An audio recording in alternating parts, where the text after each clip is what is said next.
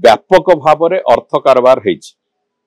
Ambulance ଆଉ police ଗାଡିରେ ସବୁ ନିର୍ବାଚନ ମଣ୍ଡଳୀକୁ କୋଟି କୋଟି ଟଙ୍କା ଶେଷ ତିନି ଦିନରେ ଯାଇଛି। ଶେଷ ତିନି ଚାରି ଦିନରେ ବ୍ୟାପକ ଭାବରେ କୁଆପଥର ବର୍ଷା ଭଳିଆ ଟଙ୍କା ବାଣ୍ଟିଛନ୍ତି। କିନ୍ତୁ ଧନ୍ୟବାଦ ଓଡିଶା ପ୍ରଦେଶର ଲୋକମାନଙ୍କୁ ବିଶେଷ କରି ଯୋଉ ଗରିବ ଭାଇ ଭଉଣୀ ମାନେ ଅଛନ୍ତି ସେମାନଙ୍କୁ ମାଗଣା ବିଜୁଳି ବିଲର ପ୍ରଲୋଭନରେ ସେମାନେ ପଡିଲେନି। ଲୋକେ କହିଲେ ଏଭଳିଆ ଅସହ୍ୟ ଅବସ୍ଥାରୁ ଆମକୁ ମୁକ୍ତି ଦରକାର ତେଣୁକରି ମାଗଣା ବିଜୁଳି ବିଲ୍ ପଛେ ଆମକୁ ଦରକାର ନାହିଁ ଆମେ ମୁକ୍ତି ପାଇବୁ।